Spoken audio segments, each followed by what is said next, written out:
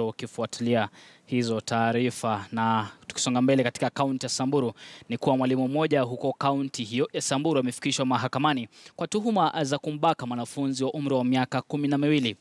Dominic Bosire, mwalimu wa shule ya msingi ya Milimani eneo la Maralal, alikana mashtaka na kutaka kuachiliwa kwa dhamana, uamuzi ambapo mahakama inafaa kutoa siku ya leo. Upande wa mashtaka ulitaka mahakama hiyo kumnyima dhamana kwa hofu kuwa huenda mshtakiwa akatoroka au akawashawishi wa mashahidi ambao pia ni wanafunzi. Hakimu Abraham Gashie aliratibia kesi hiyo kusikizwa tarehe saba mwezi Disemba.